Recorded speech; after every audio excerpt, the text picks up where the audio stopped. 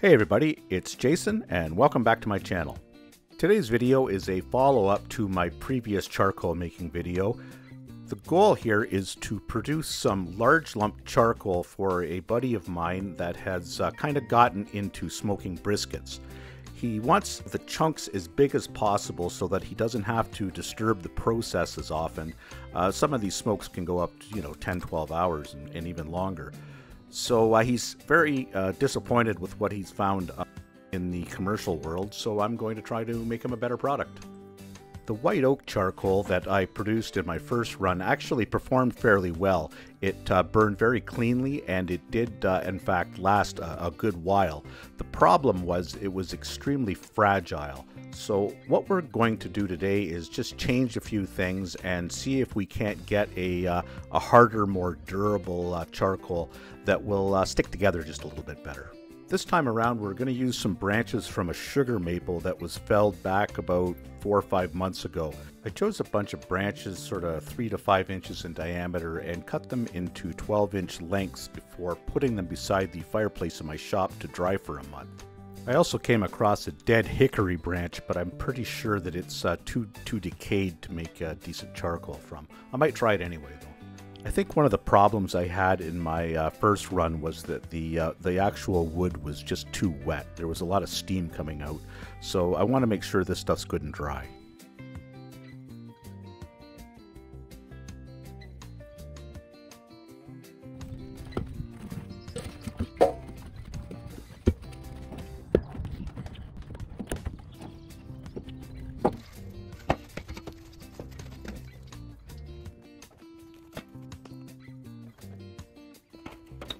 So here's the plan for today's burn. Uh, I want to get a good hot fire going as fast as I can. In the first test, I measured temperatures of uh, 700 degrees Fahrenheit on the side of the outer barrel, so I'm going to use that as my target. Once I get there, I will put the chimney on and bake the maple in the kiln for two full hours. Then I'll let it sit overnight and open it up in the morning. That's quite a bit shorter than the last time, so hopefully I'll see a difference. Then I'll do a third run in the next week or so with modifications based on the product I get from this batch, and I'll just keep doing that, dialing it in until I'm satisfied with what I get. I think I'll figure it out in a couple more runs. Top of the barrel, about 600 degrees. It's Fahrenheit. The bottom of the barrel, 760 degrees. That's pretty hot.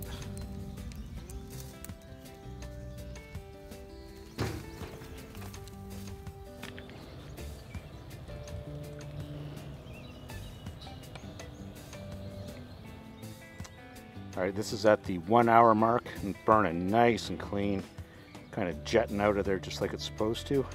So I'm thinking that these volatiles are starting to burn off right now.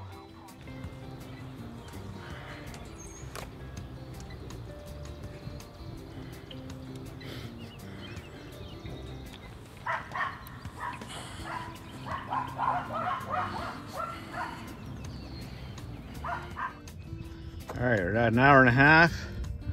Looks like it's burned down just a little bit, although the temperature is still 700 degrees. That's like 500 at the top, 480. But still, that's hot.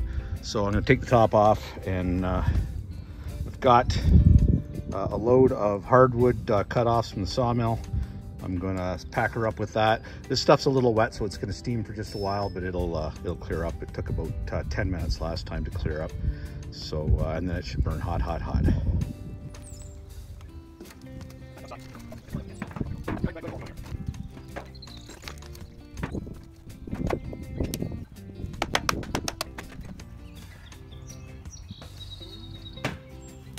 Yeah, there's that steam burning off.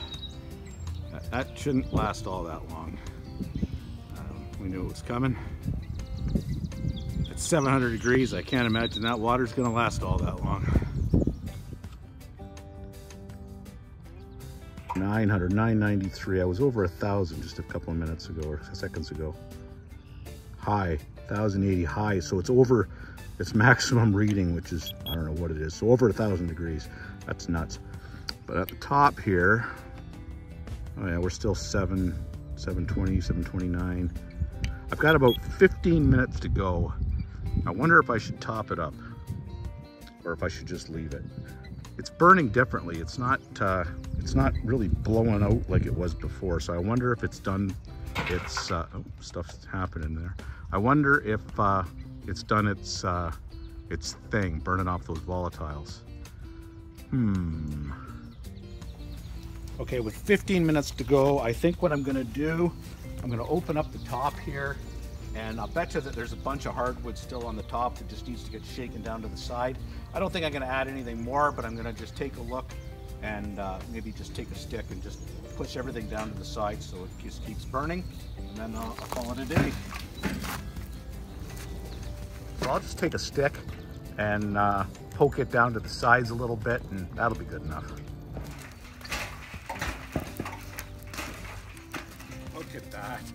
That's, brother, that's hot.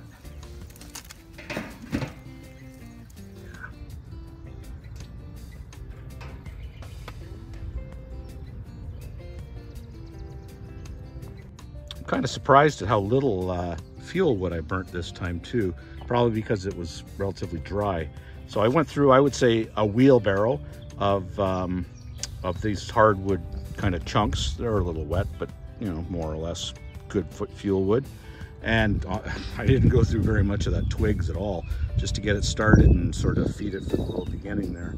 And then a handful of uh, construction cutoffs. So yeah, this is a much better experience than the last time. Uh, I think it's a better burn, used less fuel, less steam, a lot faster. So here we are two hours. Still really hot down there, 1,000 degrees. So I'm just gonna leave it. I'm not gonna touch a thing. I'm gonna leave the uh, chimney on and just let it burn out. And check it in the morning.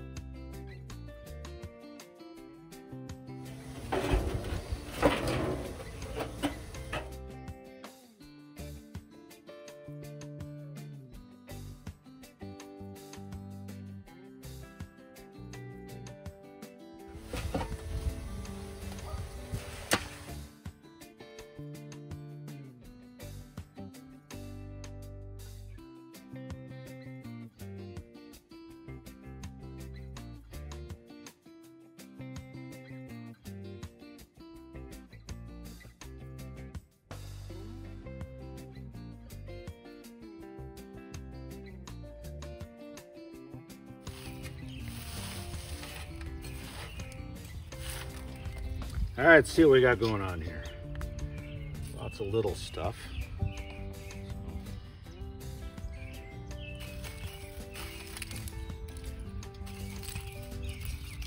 Yeah. Still warm.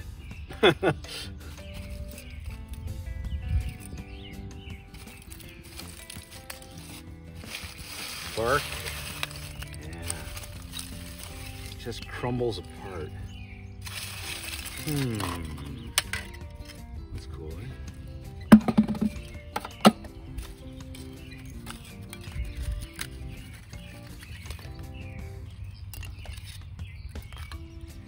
I mean, it's good charcoal, but it's it wants big lumps, and these are not big lumps. They're falling apart. Now, does that mean I'm cooking it for too long, I wonder? If they're done all the way through, no doubt about that. Yep, definitely done all the way through. That's a nice solid piece. Hmm. We'll figure this out.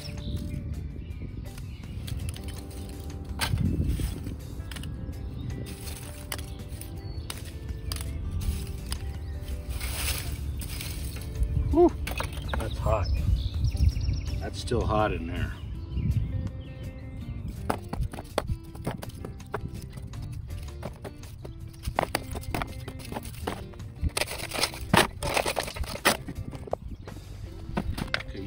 It on the camera probably. Oh, that's hot.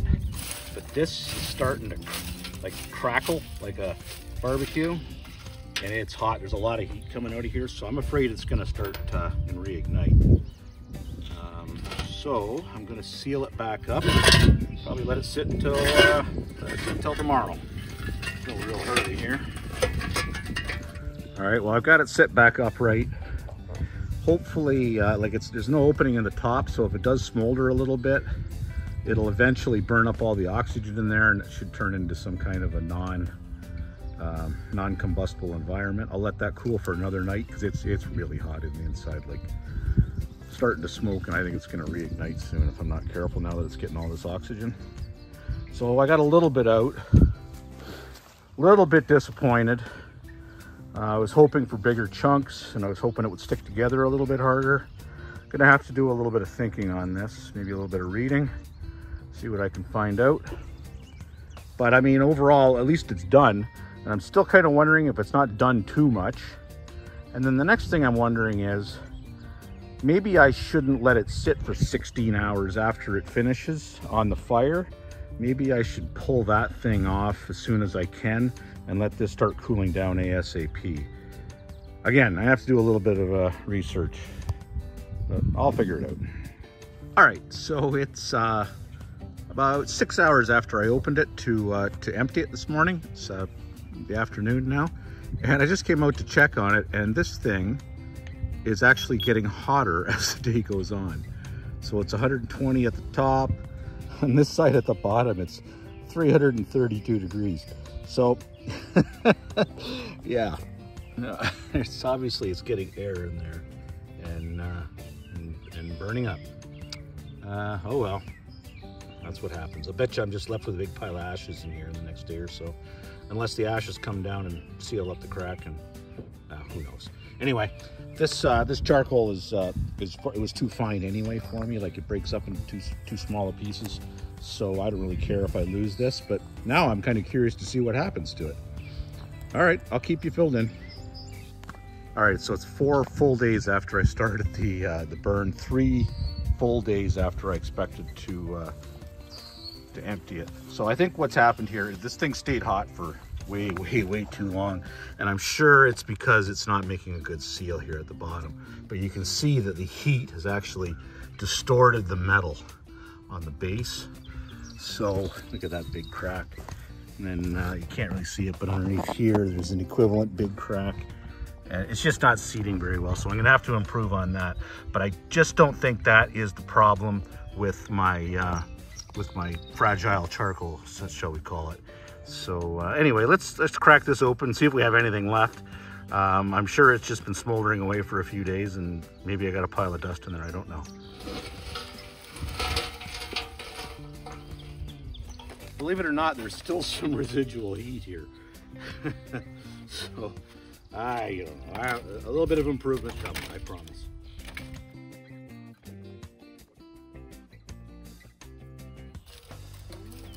Yeah, these are still warm. So I think what I'm gonna do for the warm ones, I'm just gonna put them in that metal can there.